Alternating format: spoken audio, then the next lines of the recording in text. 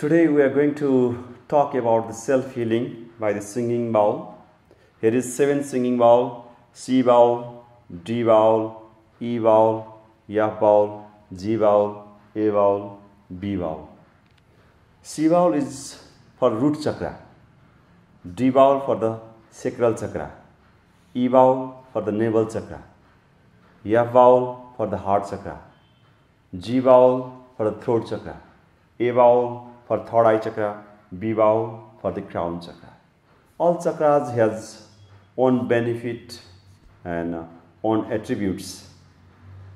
Today we are going to teach you how practically we can heal by the seven singing bowl. How we can heal our chakras and energy centers. It is so simple. Just take a seven set of singing bowl, which should be C, D, E, F, G, A, B. Again, C vowel, D vowel, E vowel, F vowel, G vowel, A vowel, B vowel. It should be in a same sequence, not different. Huh? I start to hammer from the C vowel.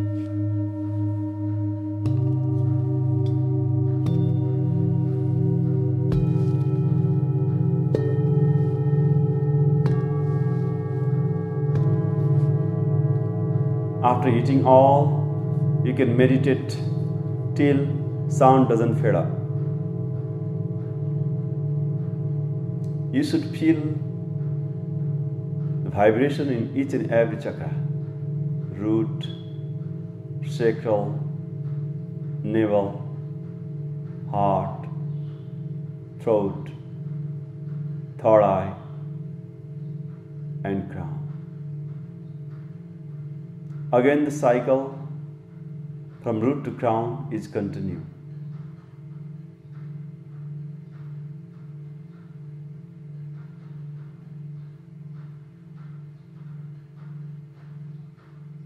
When sound completely fade up, becomes silence. Again, you should hammer the singing bowl in the same sort of sequence, same process. C vowel, D vowel, E vowel, F vowel, G, A,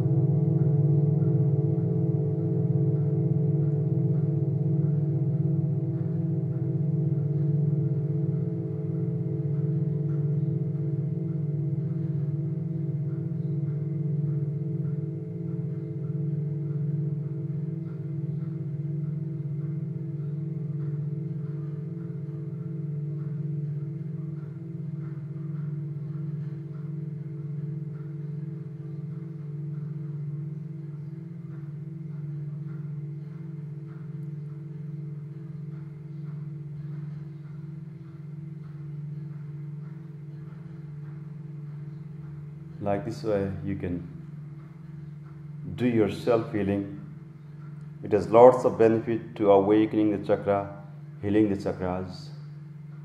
It is the very pure sound energy which can penetrate our each and every energy centers and can give the amazing relaxation. The technique is so great.